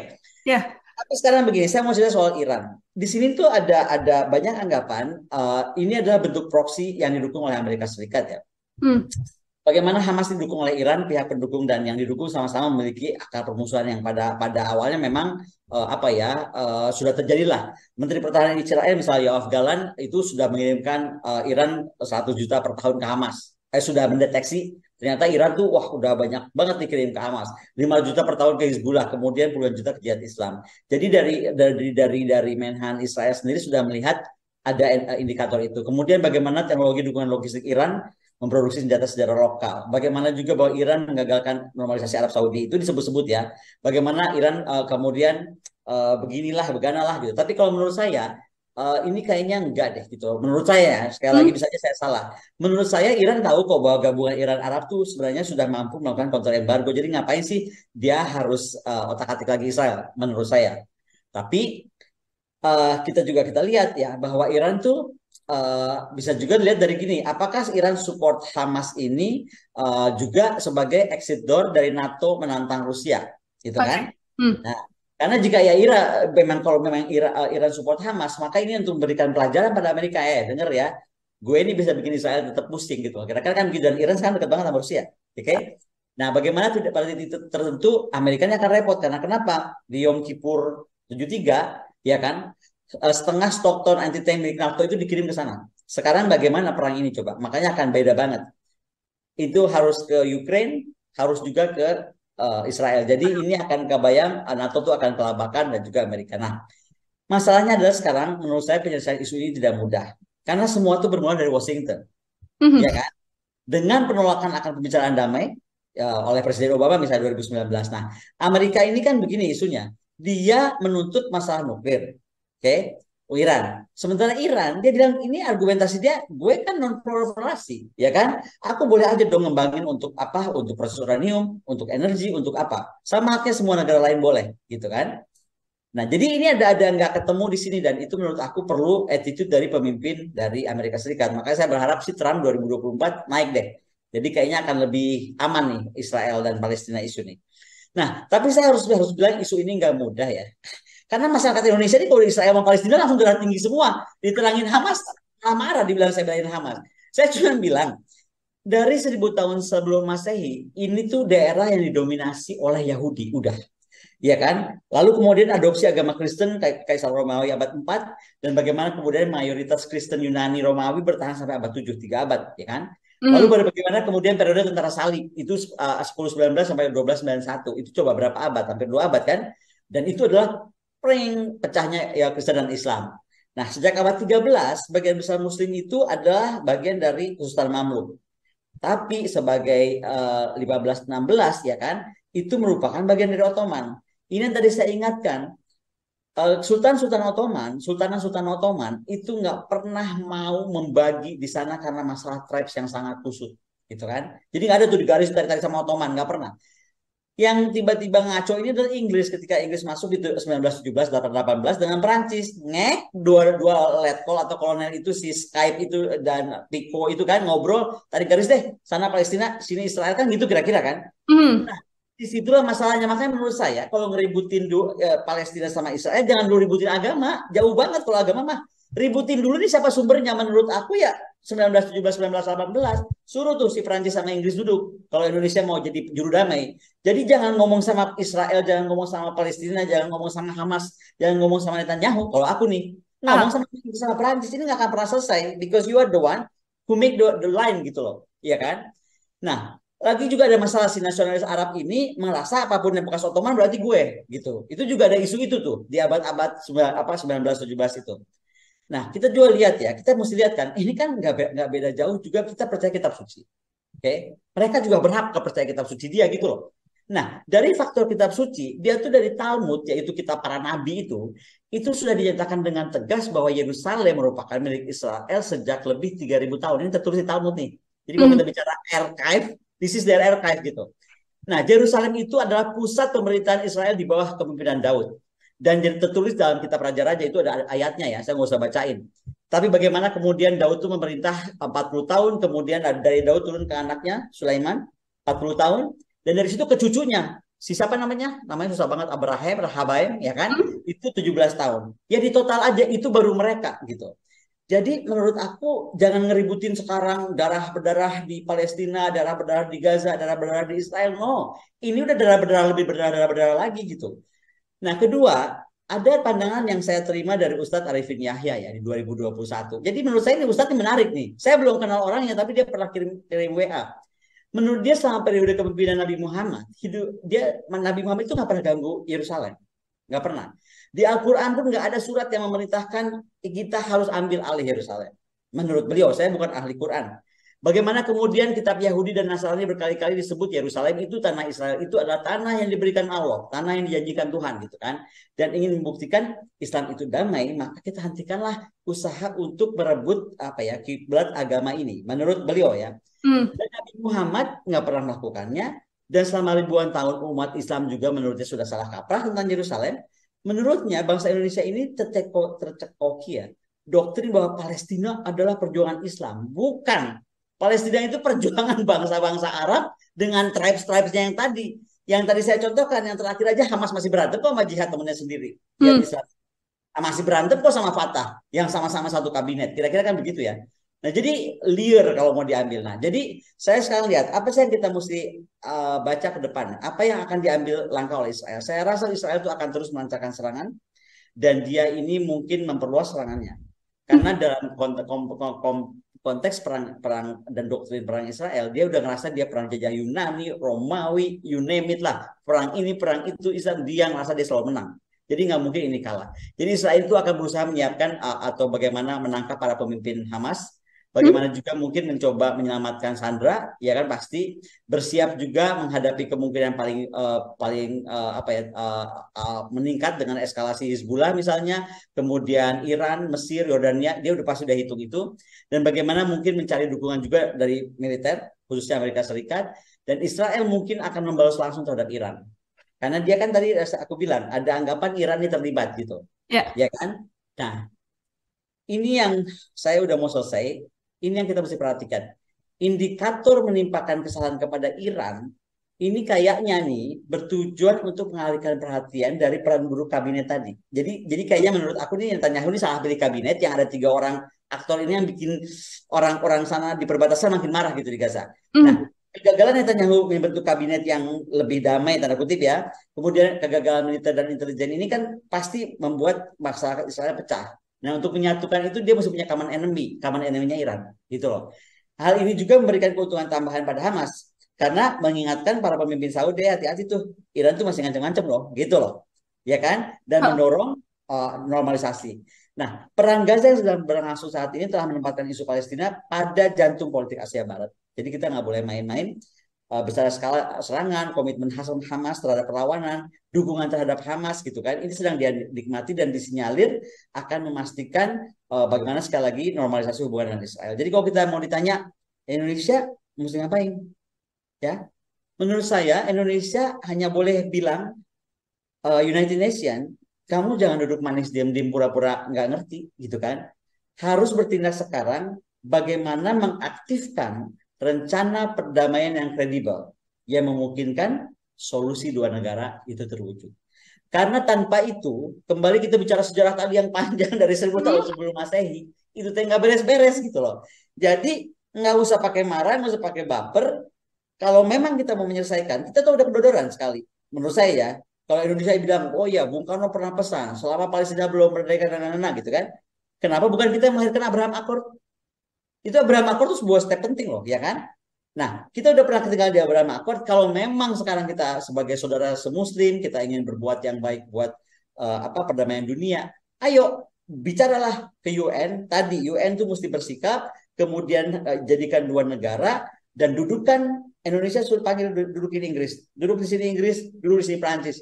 Gimana sih lu beresin ini gara-garanya lu? Karena sebelum dia ini sebelum uh, 17 18 itu aman aja. Beberapa Ottoman Empire mundur-mundur itu nggak pernah begini. Saya kira itu aja supaya sebelum kita diskusi lebih lanjut gitu. Mm, Oke okay, baik, terima kasih sekali paparannya Bu Ani luar biasa. Saya mulai uh, dari Hamas terlebih dahulu. Ya. Momen Hamas menyerang ini kan juga pada momen hari libur atau hari perayaan libur. bagi ya uh, Israel juga. Ini kalau dari kacamata Bukoni, apakah memang Hamas sudah memperhitungkan serangan ini dengan matang atau taktiknya yang memang begitu luar biasa atau skenario yang dijatuhkan benar-benar uh, matang begitu sampai akhirnya seakan-akan kecolongan Israel ini semakin membuat nama intelijen Israelnya semakin tidak ada nyalinya begitu, bukan nih?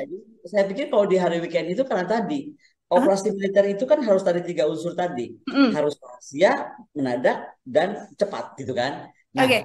jadi dia sengaja bikin itu supaya seolah-olah menelanjangin nih secara operasi militer tiga dasar utama serangan militer gue tuh sukses banget gitu. Karena mm. apa? Orang kan cenderung kan cenderung lebih lebih rileks gitu kan, lebih santai gitu. Sama seperti Yom Kippur dulu kan lagi bulan puasa. Mm, betul. Itu bulan puasa nah. Sekarang lagi weekend. Nah, itu kan juga sebuah sebuah unsur kejut yang yang yang apa yang sama sebenarnya walaupun beda waktu gitu. Mm. Ada Iron Man tadi juga sempat disinggung oleh Bu Koni yang diserang oleh roket begitu kan oleh Hamas. Roketnya kemudian sampai bolongin tembok gitu kan? Ya. ada yang diserang oleh roket banyak sekali, tapi di di selain memang serangan dari roket kan ada beberapa metode serangan lain yang dilakukan oleh Hamas juga kan, Bu ada yang menggunakan para layang dan lain sebagainya. Ini kalau Bu Kodi melihatnya seperti apa?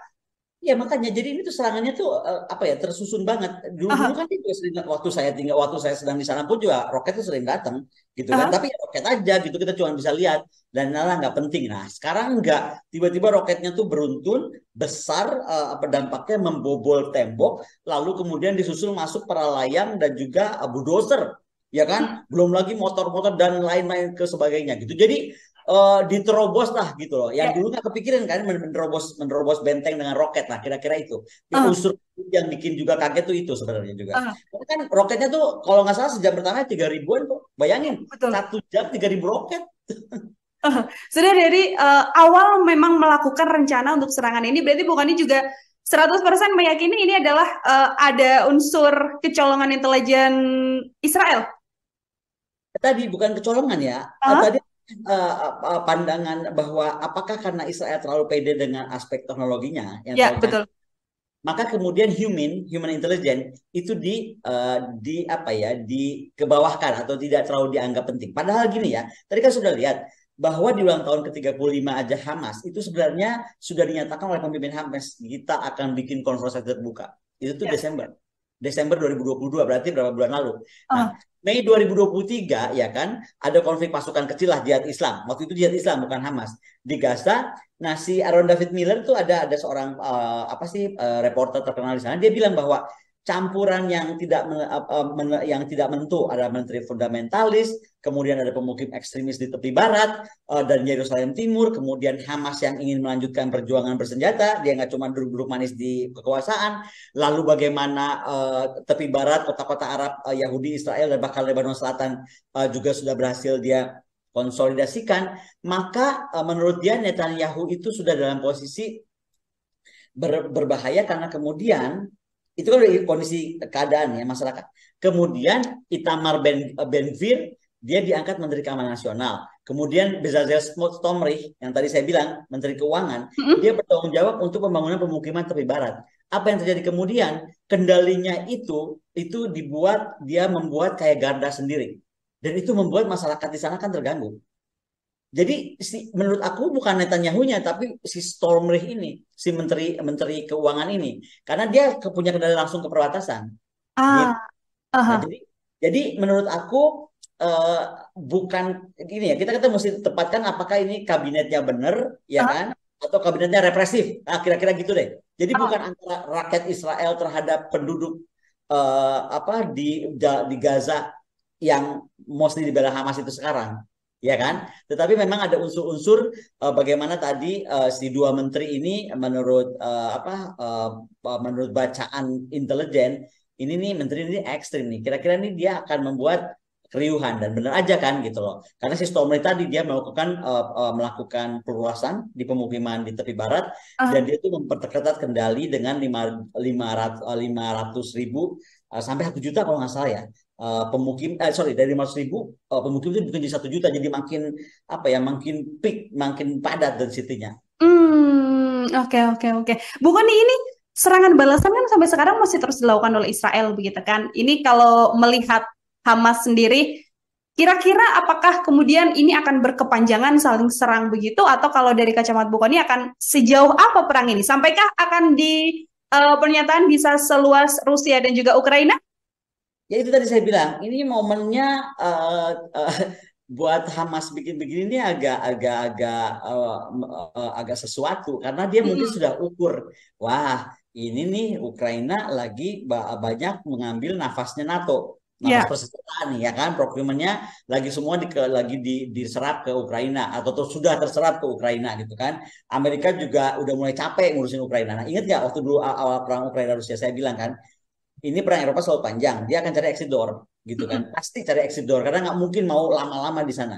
Nah, apakah itu kan ini semacam exit door bisa juga gitu, iya kan?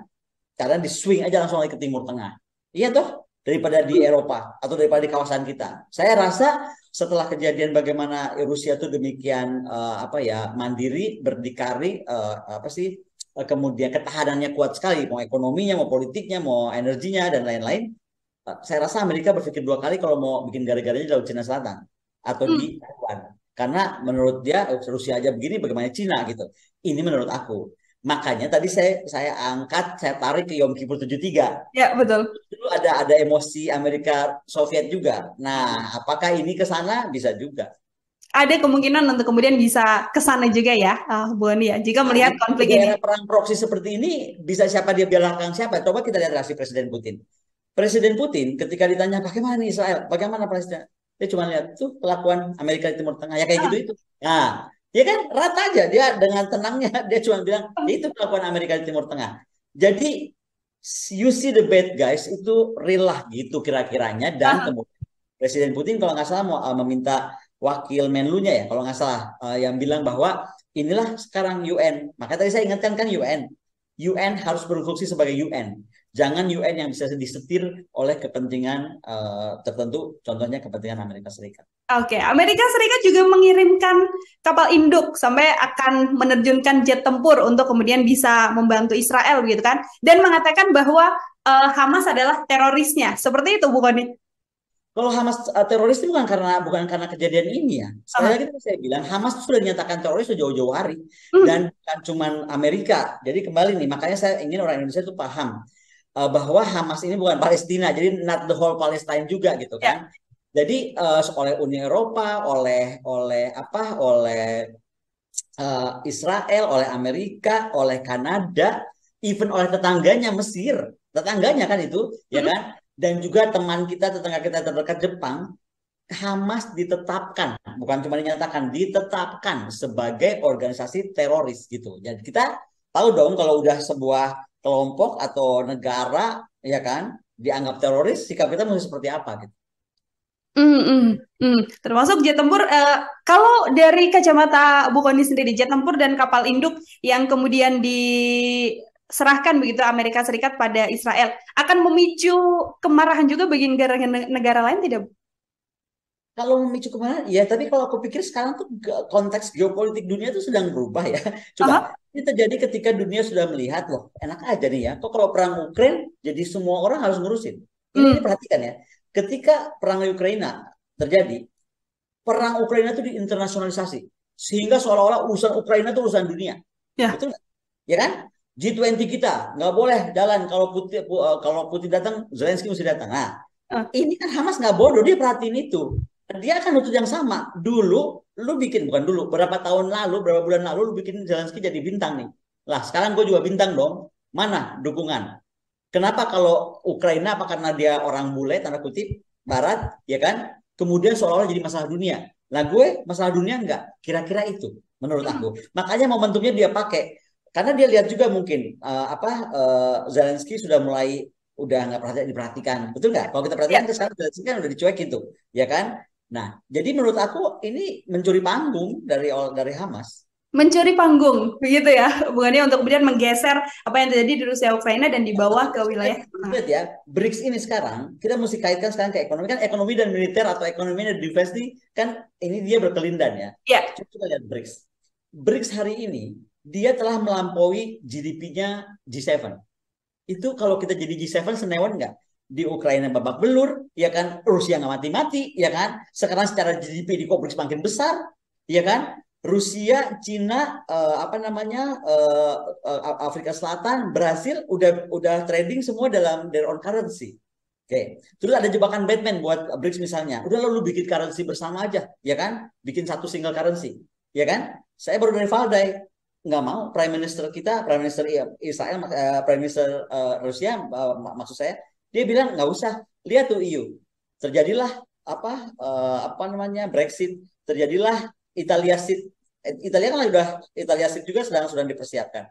Jadi kita nggak mau, biar aja kita berdagang dengan uh, uang kita sendiri. Nah, menariknya sekarang BRICS tidak bicara cuma ekonomi.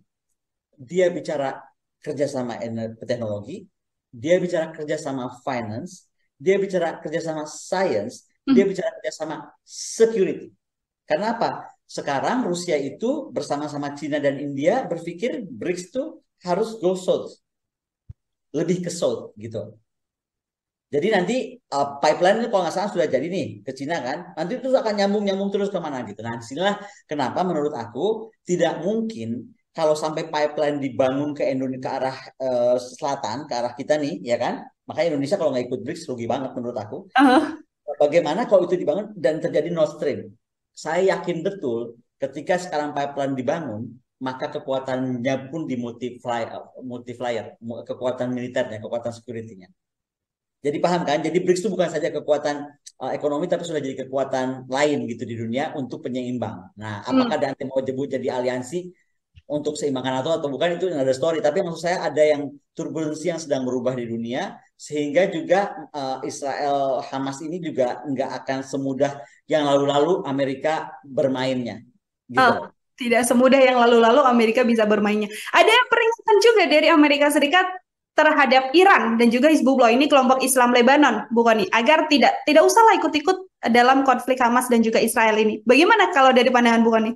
Nah, tadi saya bilang ya, uh, saya nggak tahu nih kenapa uh, kalau kita baca media-media Barat dan lain-lain itu seolah-olah meng, meng, apa, menganggap ya walaupun ada possibility ya tapi uh, seolah framing gitu ke arah Iran gitu yeah. kan di belakang layar. Makanya tadi kan saya udah udah cerita. Huh. Nah, tapi intinya kita kan juga mesti lihat ketika negara itu sedang kaget ya kan? Kemudian uh, istilahnya pemerintah lagi dianggap anggap lu bego banget sih intelijen kita. Gimana ini IDF loh we are talking about. Kenapa bisa begini kan? Gitu ya kira-kira kalau kita penduduk Israel huh. nah dia mesti perlu common enemy gitu. Nah common enemy-nya ini menurut aku ya paling paling paling masuk akal di antara mereka ini ya kan? Untuk membangunkan beberapa beberapa uh, isu gitu kan beberapa emosi ya ke Iran.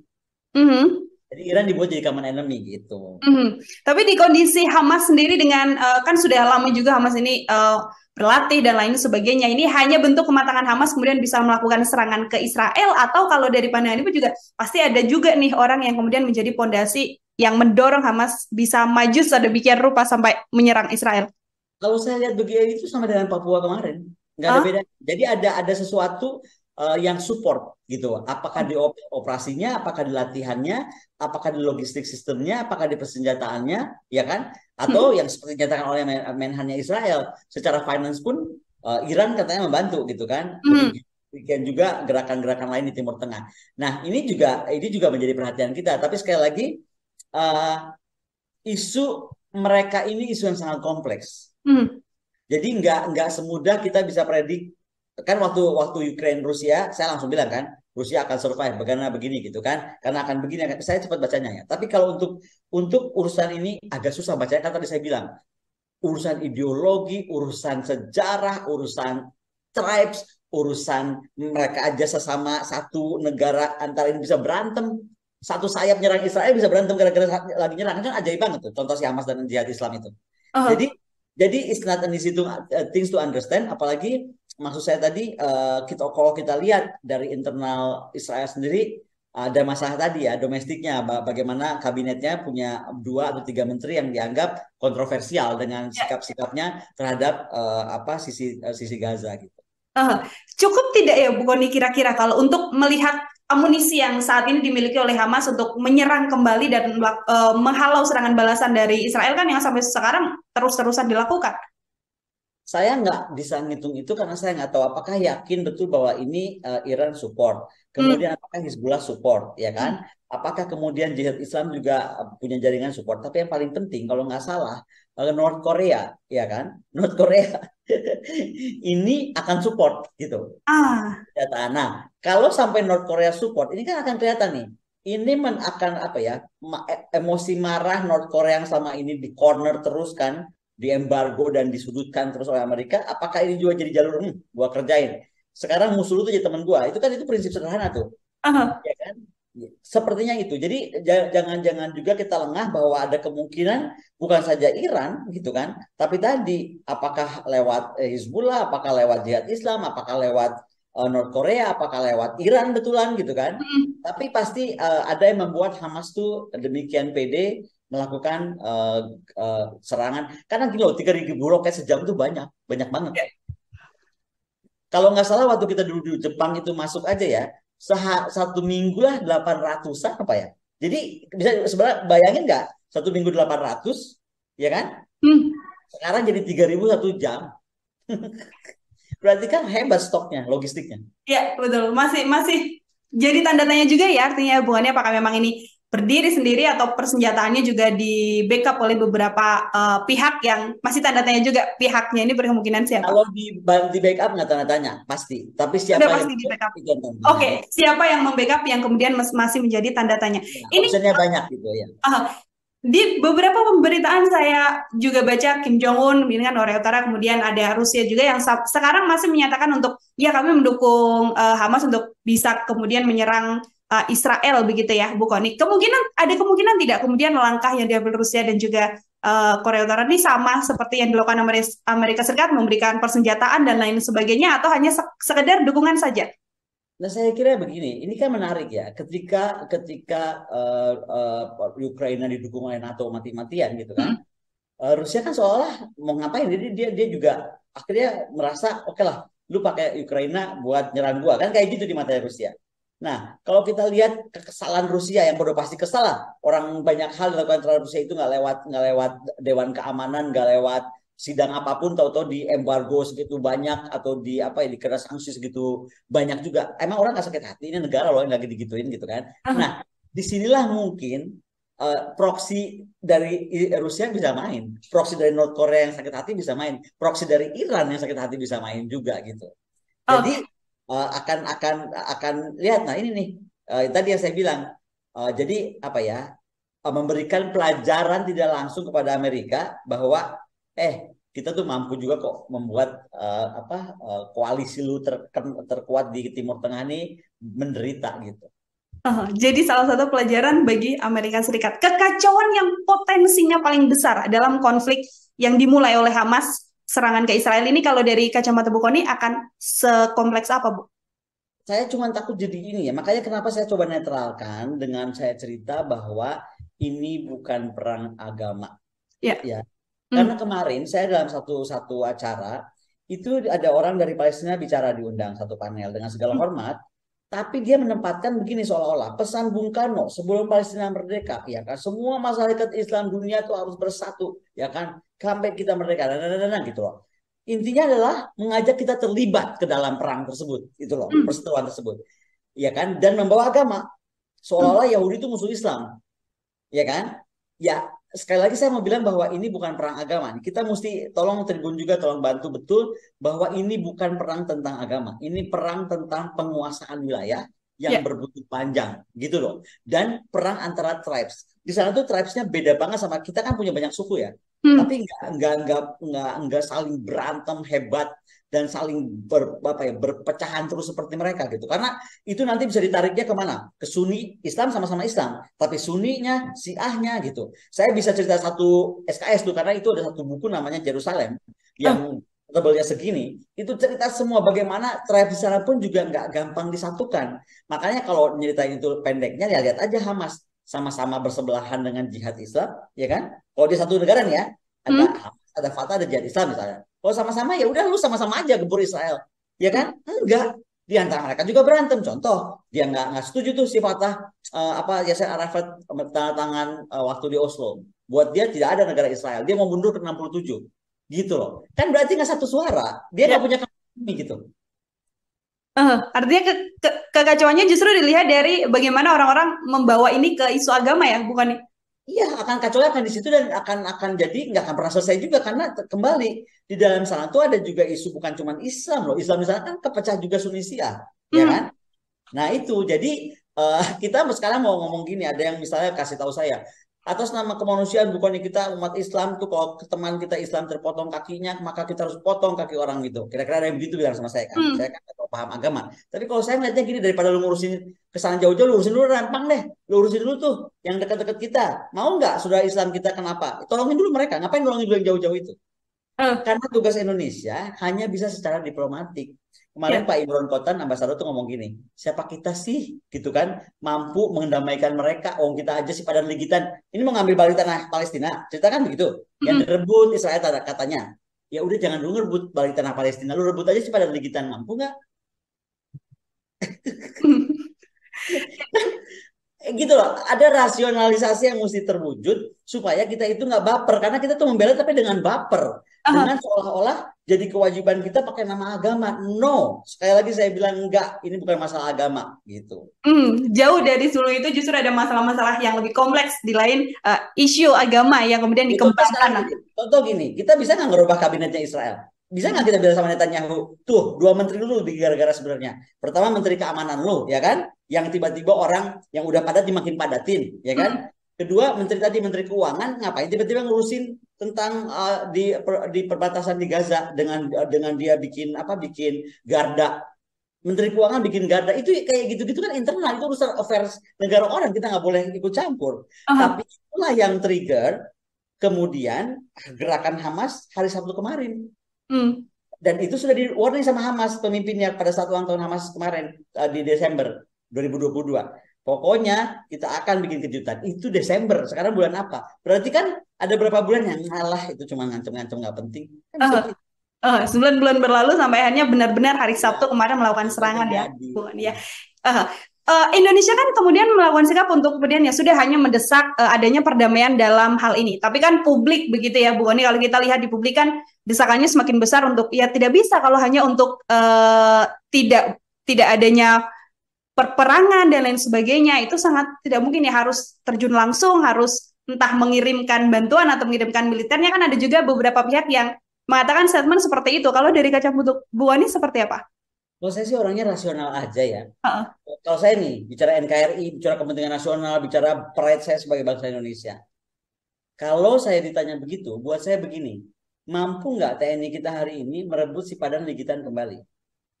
Mampu nggak sekarang TNI kita misalnya atau PKMLU kita bersikeras pulau yang dekat Australia yang lagi rame nih Pulau Pasir ya? Pulau Pasir namanya. Yang sedang diklaim Australia kemudian dibantah oleh oleh apa oleh oleh masyarakat adat kita. Hmm. mampu nggak kita kita kita beresin dulu itu gitu kan?